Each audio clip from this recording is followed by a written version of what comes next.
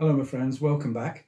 This is part three of the Path series, and this is all about making friends. If you want to make new friends, the next few minutes are going to be very valuable to you. But first, I want to tell you you already know how to make friends because the way that your friends treat you that make you feel good is the way that you should treat other people. But we forget we're so stupid as human beings. Maybe we're selfish, maybe we're lazy. We forget how to be happy. I wrote a little poem at our poetry group about how to be happy. It went, um, What have I learnt after all these years? What wisdom lies between these ears? Exercise and do your chores, then do what you love, then do it some more we forget to do the things that we love to do. It's crazy, really. Anyway, why do I want you to have new friends? Because, as you know, my quest here is to promote protopia, which is where everything is getting better day by day. That's what I'm trying to get towards. Now, if you look, say you get a single person on their own and they're miserable, disconnected, pessimistic. If you get that person with a group of good friends, he becomes optimistic, happy, and numerous studies show that he'll be he'll be happier, he'll be healthier, and he'll live longer as well. So the value of having a network of friends is beyond description. So if you've got a whole society like that of people who care about each other and help each other and want the best for each other, that's protopia. That's likely to produce a society where everything is getting better and better because everybody wants it to get better for everybody else. They're not just thinking about themselves. So, how to get more close friends. Um, I've got 18 tips that I've made notes of here, and I'm going to just read them out bit by bit. It's it goes beyond. If you watch the last video about pouch, how to deal with individuals, the acronym pouch stands for polite, observant, understanding, considerate, and helpful. We're going to go beyond that now to try to make real good friends, long lasting friends. So, number one, try hard to remember names. You know, if if you're introduced to someone and then three weeks later you see them again in a, a different context and they come up to you and use your name, you can't deny that little buzz of pleasure that they've respected you enough to remember your name. I mean, some people are good at remembering names and some people aren't. But you can try your hardest to remember their names, repeat it in your mind, repeat it out loud. There are tricks you can do, like associating um, a character trait of the person, maybe he's got unusual hair or something, with his name. You have to find a, a picture. The more outlandish, the better, because it'll stick in your mind. And next time you see him or her, you'll remember the picture and that makes you remember the name. There's lots of tricks to that you can find out, but it's very important to try and remember people's names. Two, be a comfortable person to be with. Don't don't expect people to be different from what they are. Don't pressure people to, to be what you want them to be. Just be be comfortable to be with. And number three is relax yourself. Just just relax. Don't let things upset you. Be an easygoing individual because your friend, you can relax with your friends. You can't relax with some people who aren't your friends, but with your friends, you can definitely relax. Four, don't show off. Keep your ego in the background. There's just no need for it when you're with your friends like that. It, that will also help with the, the relaxation. Five, try to have something interesting to say no matter what the topic of conversation. So this is all part of going up the path. Part of the path is being more educated. So keep abreast of what's going on with current affairs, read widely, as widely as you can, with lots of things. So, whatever the topic of conversation comes up, you've got something to say about it. Again, don't try to be a know it all, just say, I think I might have heard that, such and such. So, just an interesting little thing. Six, try to be aware of anything in your personality that grates on other people. Now, your friends may not tell you this. I tell the ones who will tell you are your enemies. Not your enemies, but people who don't like you particularly. They'll point out your shortcomings, but your friends won't. To look very carefully at that. Try and find out yourself if there's anything that, you know, that is rubbing people up the wrong way or irritating people.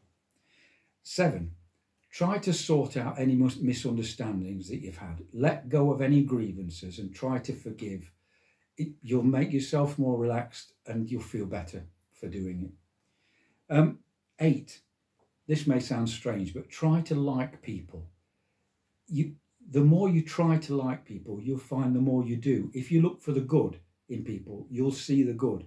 If you're looking for the faults and the shortcomings, you'll see those as well. But if you look for the good in people, you, will start to like people more. And It sounds strange, but it's true. Um, nine, in conversation, always have, be on the lookout for humour. Everybody likes a joke. Now, I mean, the right in the right situation. If you're joking around with your friends, it's perfect. If you're at a funeral, don't don't, don't try it. But just look for the funny side of any situation. People will appreciate that and they, they enjoy it. 10. This is one I think particularly important. Never miss an opportunity to give a word of congratulations on somebody's achievement if they've passed an exam or the driving test, or anything at all that they've achieved.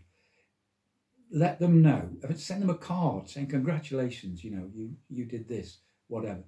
And if they've at the same way, if they've had a disappointment or a loss, always express your condolences or sympathy for what, even the, just a disappointment if they failed an exam. You know, let them know that you care about their results.